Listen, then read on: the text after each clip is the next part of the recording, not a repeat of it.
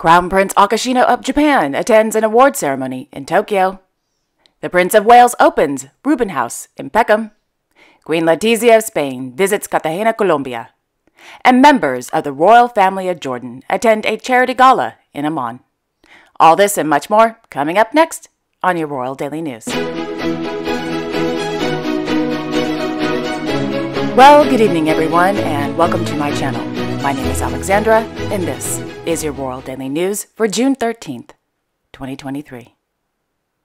Last evening in Amman, Her Majesty Queen Rania of Jordan, accompanied by their Royal Highnesses Prince Talal bin Muhammad and Princess Ghida Al Talal of Jordan, attended the King Hussein Cancer Foundation's 2023 Hope Gala fundraiser.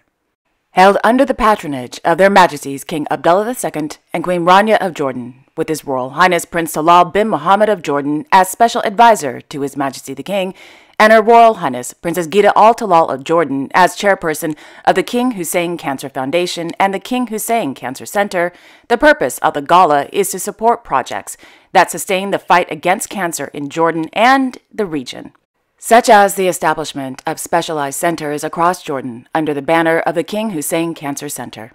These include the upcoming King Abdullah II bin Al Hussein building in Aqaba and two additional buildings in Amman for pediatric treatment and cancer research. In her speech, Princess Ghida Al Talal of Jordan spoke about the King Hussein Foundation and the King Hussein Cancer Center's ongoing efforts to ensure accessible cancer care. Quote, We pledge to continue our fight against cancer recognizing it as an adversary that is both formidable and deceptive, and one we must not tolerate.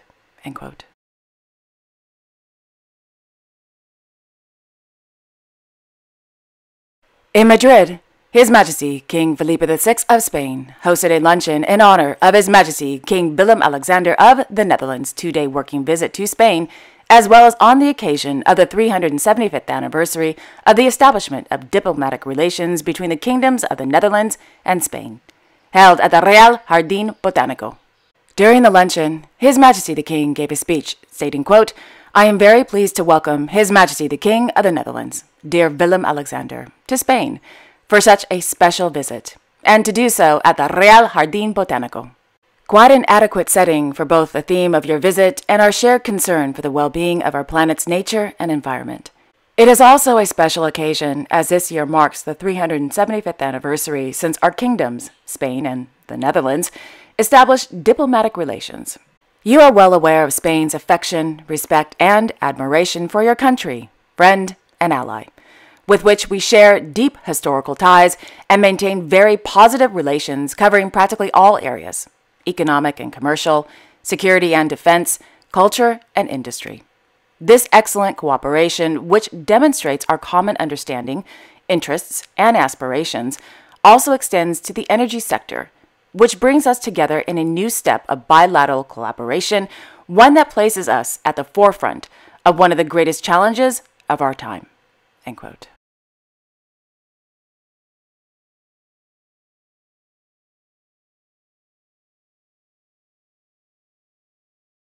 On the early evening of June 12th, Her Majesty Queen Letizia of Spain, accompanied by the Spanish Secretary of State for International Cooperation, Ms. Pilar Cancela, arrived at Rafael Núñez International Airport in Cartagena, Colombia, to begin their three day cooperation visit to the South American country.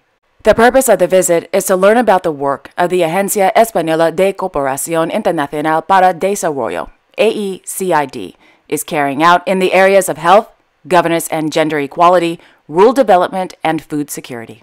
According to the Spanish Royal Court, the AECID is also, quote, aiding Colombia's efforts to implement the agreements of peace focusing on strengthening the social rule of law, with special attention to the work with ethnic, indigenous, and the Afro descendant population.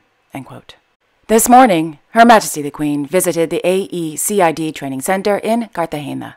Whilst there, Her Majesty the Queen unveiled a commemorative plaque, as well as participated in a roundtable meeting with the staff of the OCE Colombia and the AECID Training Center staff.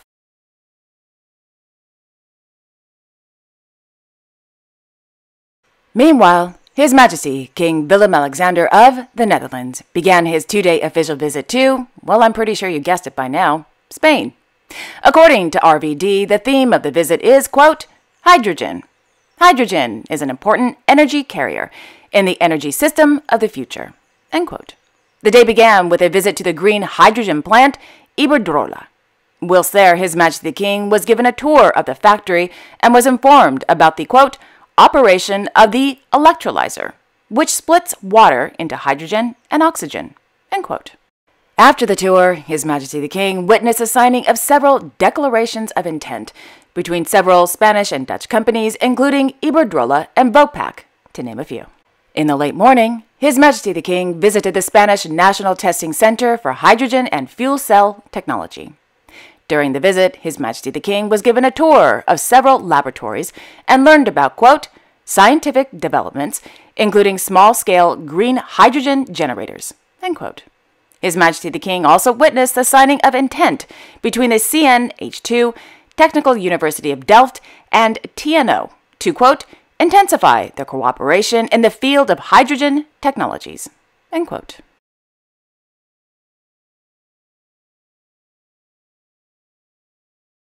This morning, Her Majesty Queen Maxima of the Netherlands visited the construction site for the new social housing project in Rijnsburg. According to RVD, the visit took place in the quote, run up to the day of construction, during which the public can take a look behind the construction fences at more than 150 construction sites throughout the Netherlands. End quote.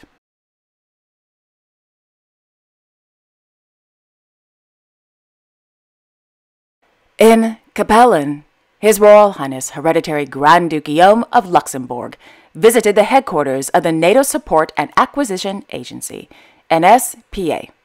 During the visit, the hereditary Grand Duke learned about the logistical and operational work provided by Luxembourg to NATO allies all over the world. The hereditary Grand Duke also learned about the collaboration between the NATO agency and Luxembourg in the air, medical, military, cyber, and space fields from the Director General, Mrs. Stacey A. Cummings.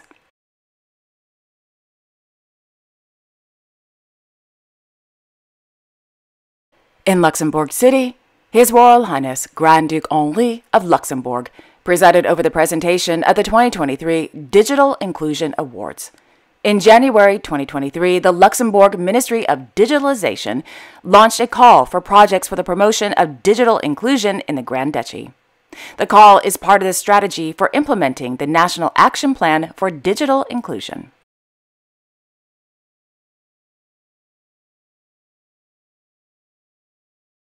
Yesterday afternoon, the Grand Duke, accompanied by the Minister of the Economy, Mr. Franz Fayot, attended the inauguration of the Helix Building, the new headquarters of Post Luxembourg.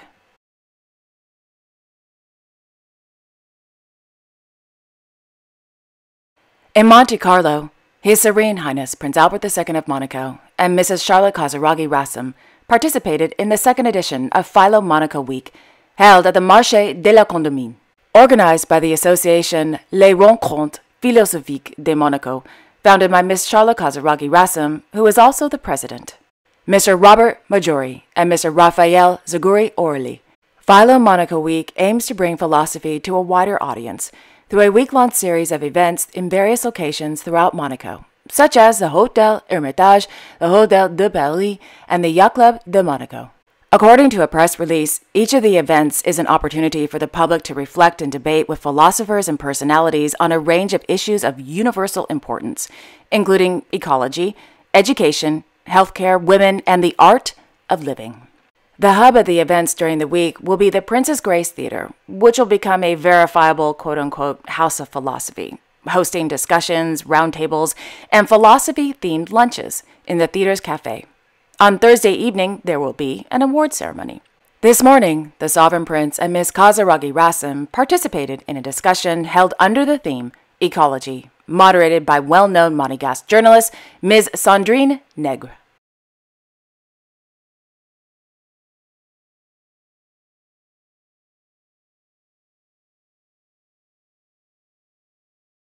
In the afternoon, the Sovereign Prince received letters of credence from newly appointed ambassadors to the Principality of Monaco. The newly appointed ambassadors are from Bangladesh, Mongolia, Canada, and Kazakhstan.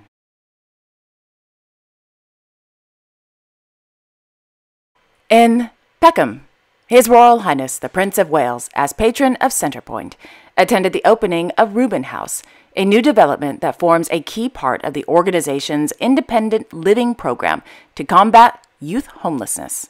According to a press release, Centrepoint estimates that approximately 15,000 16 to 24 year olds in London faced homelessness last year, from a total of 129,000 across the United Kingdom. To help address this, Centrepoint's independent living program aims to deliver homes of their own to 300 young people in developments in London and Manchester in the coming years.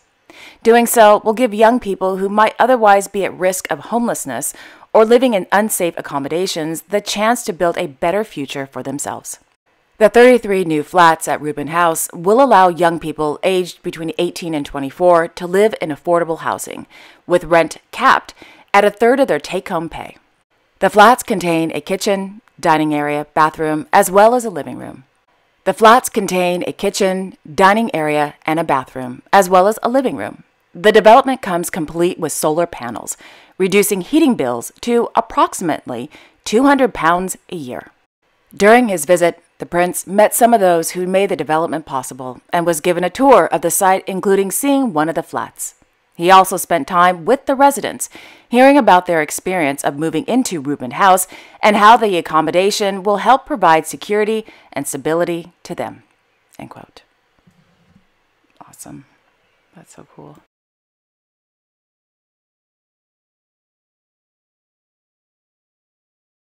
On Monday, his Royal Highness the Duke of Edinburgh met with Ukrainian soldiers undergoing military training in the United Kingdom as part of Operation Interflex. According to Buckingham Palace, Operation Interflex is a multinational operation that trains new recruits in the skills needed to survive and carry out effective frontline combat. Operation Interflex is run by nine partner forces, in addition to the United Kingdom, including Australia, New Zealand, and Canada. During the visit, the Duke, dressed in his Royal Air Force uniform, watched troops engage in movement drills and casualty lessons under the supervision of British instructors.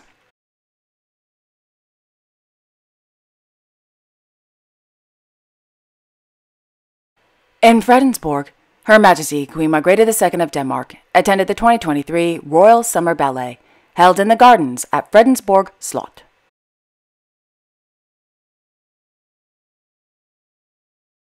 In Stockholm, His Majesty King Carl Gustaf of Sweden presented His Majesty the King's Medal and Litteris et Artibus medals during a ceremony held at the Kungliga Slottet.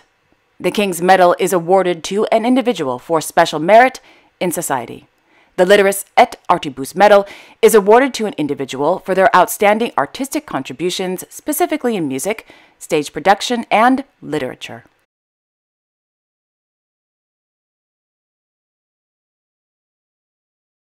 In Belgrade, Her Royal Highness Crown Princess Catherine of Serbia, accompanied by board members of the Lifeline Humanitarian Organization of Chicago, attended the opening of the Jovan Jovanic Home for Children.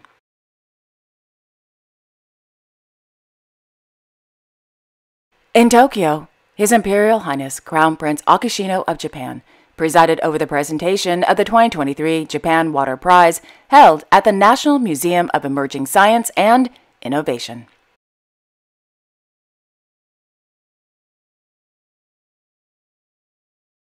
In Muscat, His Majesty Sultan Haytham bin Tariq Al Sayed of Oman hosted a luncheon in honor of His Highness Sheikh Sayed bin Saqr Al Qasimi, the ruler of Ras Al Khaimah, on the occasion of his official visit to Oman held at Al Baraka Palace. Earlier, the Sultan and His Highness, along with his delegation, held a meeting in which discussions focused on, quote, relations binding the two countries, they explored various aspects of cooperation aimed at serving the mutual interests of Omani and Emirati people. They also touched on a number of issues of concern to both sides. Thereafter, another meeting was held in the presence of His Highness Crown Prince Saeed Thayezin bin Haytham Al Saeed of Oman and His Highness Sheikh Khalid bin Sayed Al Qasimi of Ras Al Khaimah.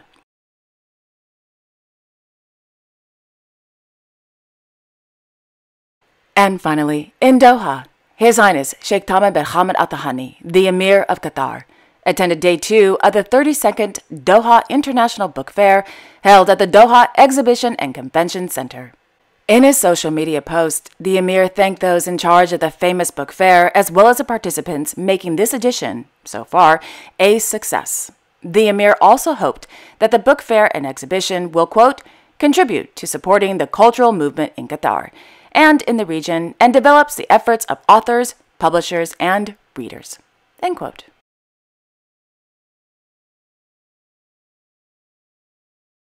And there you have it. Thank you all so much for joining me this evening. I will be back tomorrow on Wednesday, June 14th, with all the latest world news. Until then, I wish you all a wonderful evening and a great day tomorrow. And don't forget to like, share, and subscribe, and hit that notification bell so you won't miss a thing. Okay, have a wonderful evening, everyone, and I will see you all tomorrow. Bye bye.